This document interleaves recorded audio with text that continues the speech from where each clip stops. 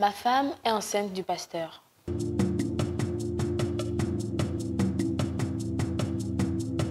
Salut à tous, bienvenue sur votre émission Micro sans frontières, rubrique Histoire et Conseils. Aujourd'hui, je vous cite l'histoire d'un jeune homme. Écoutez avec moi. Je suis Monsieur Inks, un jeune informaticien de 35 ans, marié légalement à Madame Y. On a une petite fille de 5 ans.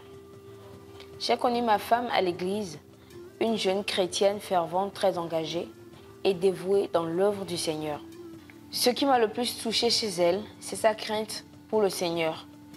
Nos fiançailles ont été célébrées à l'église et il fallait que j'attende jusqu'au mariage avant d'avoir les rapports avec elle.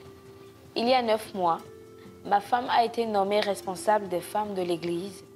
Vu son dévouement et son engagement, j'étais très content pour elle car elle le méritait amplement. Ma femme a commencé petit à petit à plus s'impliquer dans les programmes de l'église, les réunions des femmes, les cellules de prière, les croisades, les évangélisations, les cellules de délivrance, etc. Du mardi au dimanche, elle est tout le temps à l'église, juste après le boulot. À peine elle, rentre s'occuper de notre enfant à 18h30 et rentre à 23h, parfois même à 0h avant de rentrer. Plusieurs fois, j'ai attiré son attention sur ce comportement. Elle trouvait toujours des excuses pour se justifier. J'en ai parlé à notre pasteur qui a demandé de prier. Nous avons fait des jours de prière ensemble. J'ai également parlé à nos témoins qui nous ont donné des conseils, mais cela n'a duré qu'une seule semaine. La semaine suivante, elle a repris ses mêmes habitudes.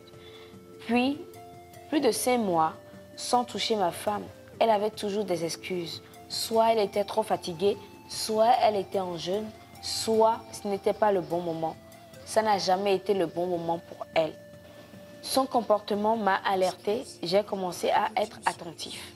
C'est ainsi que j'ai hacké son téléphone, je recevais tous ses messages WhatsApp, Facebook, tout ce qu'elle recevait sur les réseaux sociaux en temps réel. J'étais plus choquée par ce que j'ai découvert que ma femme et mon pasteur couchent ensemble. Pire, elle est même enceinte de lui. Il lui demande la grossesse, mais elle refuse car elle aime le pasteur et veut garder le bébé. J'ai failli avoir une crise cardiaque. J'ai mis mon épouse face aux preuves. Elle a pleuré tous les larmes de son corps, que c'est le diable, et elle demandait pardon. Elle a sollicité l'aide des parents, des amis proches, de nos témoins, etc., pour me demander pardon, sans les expliquer la véritable raison de ma colère. Je veux lui pardonner de toutes mes forces car je l'aime. Je l'aime de tout mon cœur. Mais je refuse d'élever l'enfant de la trahison, l'enfant de l'adultère. Je ne sais quoi faire. Aidez-moi s'il vous plaît. Chers internautes, c'est la fin de notre histoire. Si vous étiez à la place de l'homme, qu'allez-vous faire? N'oubliez pas de partager, de liker, de commenter, de vous abonner. Vos histoires sont les bienvenues. au revoir et à plus.